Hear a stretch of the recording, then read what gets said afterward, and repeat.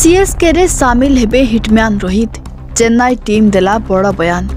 IPL দুই হাজার চবিশ পাই auction প্রক্রিয়া শেষ হয়েছে প্রত্যেক দল নিজ নিজ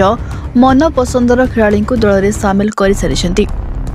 বর্তমান টুর্ণামেন্ট পাই প্রস্তুতি পর্ব আরম্ভ হয়ে যাই বেড়ে মুম্বাইর পূর্বতন অধিনায়ক রোহিত শর্মা নিয়ে চর্চা জোর ধরিছি মুম্বাই দল নেতৃত্ব ছড়াই নেওয়া পরে রোহিত অন্য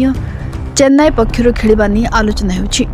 ତେବେ ଏନେଇ ବର୍ତ୍ତମାନ ଚେନ୍ନାଇ ସୁପର କିଙ୍ଗସ୍ ଫ୍ରାଞ୍ଚାଇଜି ପକ୍ଷରୁ ଏକ ବଡ଼ ବୟାନ ଆସିଛି ମୁମ୍ବାଇ ଇଣ୍ଡିଆନ୍ସ ଅକ୍ସନ୍ ପୂର୍ବରୁ ହାର୍ଦ୍ଦିକ ପାଣ୍ଡ୍ୟାଙ୍କୁ ଟ୍ରେଡ୍ କରି ଆଣିବା ସହିତ ତାଙ୍କୁ ଅଧିନାୟକ ପଦ ହସ୍ତାନ୍ତର କରିଛି ଏହାପରେ ରୋହିତଙ୍କ ଉପସ୍ଥିତିକୁ ନେଇ ମଧ୍ୟ ଚର୍ଚ୍ଚା ହେବାରେ ଲାଗିଛି ଟ୍ରେଡ୍ ୱିଣ୍ଡୋ ନିୟମ ଅନୁସାରେ ରୋହିତ ମଧ୍ୟ ମୁମ୍ବାଇ ଛାଡ଼ି ଅନ୍ୟ ଦଳରେ ସାମିଲ ହେବେ ବୋଲି ମଧ୍ୟ ଖୁବ୍ ଚର୍ଚ୍ଚା ହେବାରେ ଲାଗିଛି ତେବେ ରହିଛି ଆଗାମୀ IPL season Chennai super kings ପକ୍ଷରୁ ଖେଳିପାରନ୍ତି ବୋଲି ଆଲୋଚନା ହେଉଛି ବର୍ତ୍ତମାନ ଚେନ୍ନାଇର ନେତୃତ୍ୱ ଏମ୍ ଏସ୍ ଧୋନିଙ୍କ କାନ୍ଧରେ ରହିଛି ତେବେ ରୋହିତଙ୍କୁ ଦଳରେ ସାମିଲ କରିବା ନେଇ ହେଉଥିବା ଆଲୋଚନା ଉପରେ ବଡ଼ ବୟାନ ଦେଇ ଫ୍ରାଞ୍ଚାଇଜି କହିଛି ଯେ ଏସବୁରେ କୌଣସି ସତ୍ୟତା ନାହିଁ ଚେନ୍ନାଇର ସିଇଓ କାଶୀ ବିଶ୍ୱନାଥନ କହିଛନ୍ତି ଯେ ଟିମ୍ ରୋହିତଙ୍କୁ ଦଳରେ ସାମିଲ କରିବା ମନୋବଳରେ ନାହିଁ ଏସବୁ ଗୁଜ ବୋଲି କହିଛନ୍ତି ଚେନ୍ନାଇର ସିଇଓ